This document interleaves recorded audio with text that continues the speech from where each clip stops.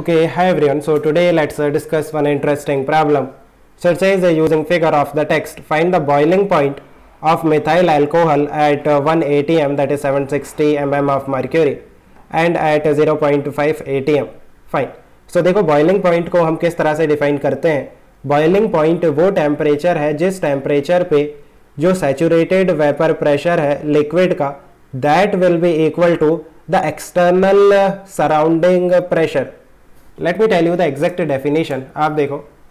The boiling point is define as the temperature at which the saturated vapour pressure of a liquid is equal to surrounding atmospheric pressure right so boiling point पे क्या होगा? Boiling point पे जो saturated vapour pressure है liquid का that will be equal to the surrounding pressure right so दोनों चीज़ें same हो जाएँगी.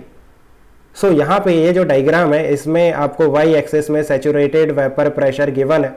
एंड क्वेश्चन में आपको सराउंडिंग का प्रेशर गिवन है सो so इसमें कंफ्यूज नहीं होना, दोनों सेम चीज़ है for boiling point boiling point में दोनों चीज़ें इक्वल हो जाएँगी right okay so one ATM की अगर हम बात करते हैं that is seven seven sixty M M of mercury so यहाँ पे सर्च करो, यहाँ पे देखो सिक्स हंड्रेड यहाँ पे सेवन हंड्रेड होगा देन यहाँ पे कहीं पे सेवन सिक्सटी होगा right seven sixty M M so इस तरह से यहाँ पे हम जाते हैं, ये आपका मिथाइल अल्कोहल का कर्व है। देन यहाँ से हम वर्टिकली डाउनवर्ड आएँगे something like this right so यहाँ पे एक्स एक्सेस में देखो कितना टेम्परेचर मिल रहा है। सो काइंड ऑफ़ 63 डिग्री के करीब है right so that will be 63 degree let's say now 0.5 ATM की बात करें so so 0.5 ATM means 760 by two that is 380 mm of mercury 380 mm of mercury so check करो 380 कहाँ पे आएगा? ये 400 है। यहाँ पे कहीं पे 300 होगा एंड यहाँ पे कहीं पे 380 होगा।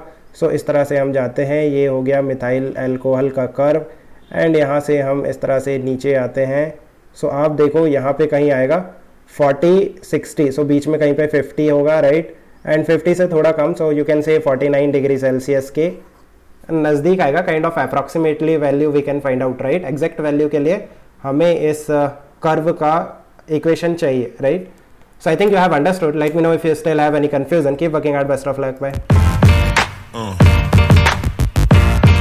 Yeah.